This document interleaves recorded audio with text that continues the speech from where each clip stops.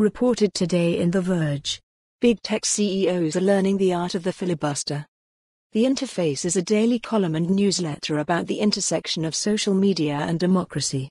Subscribe here. Humaniacs sold out our second ever Interface Live event, with Uncanny Valley author Anna Wiener, in record time. Thanks to everyone who bought a ticket, and we'll look into finding a bigger venue for the next one. In the meantime, I'm looking forward to seeing a good number of you on February 4th. The basic idea behind journalism is that there are things people don't know that they should know, and that someone ought to go find the people who do know about the things and ask them.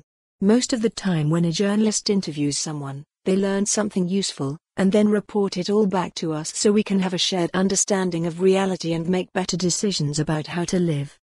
Historically, a person that lots of journalists have wanted to talk to is the big tech CEO. As companies like Amazon and Apple grew in power, Getting the chance to sit down with a Jeff Bezos or a Tim Cook became wildly appealing. Here were people who knew about many, many things, things that affected almost all of us, and could tell us about them with a candor that their employees typically will not permit themselves. And yet, when you think of what you have learned from reading the thoughts of tech CEOs over the past few years, well, what have you learned? If you hang around the darker, more thought leader Y corners of Medium, it's possible you'll have gleaned a few insights into customer acquisition or recruiting. But if what you're after is a CEO's worldview, or even just a moderately unvarnished look into their decision making process, you typically come up empty. I thought about all this today while reading Adam Lashinsky's conversation with Google and Alphabet CEO Sundar Pichai in Fortune. It's the first long interview Pichai has given since being elevated to the role of Alphabet CEO, and Lashinsky asks him about many of the subjects you would expect from a journalist in his position. Lashinsky asks why Alphabet exists, and whether Pichai will crack down on the spending of its non-Google companies.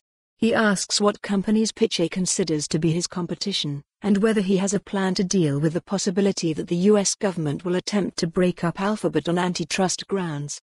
And what Lashinsky gets back from Google is almost nothing at all.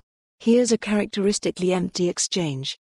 Who do you see as your biggest competitors? I've always worried as a company at scale your biggest competition is from within, that you stop executing well, you focus on the wrong things, you get distracted. I think when you focus on competitors, you start chasing and playing by the rules of what other people are good at rather than what makes you for more on this story. Visit the news article link.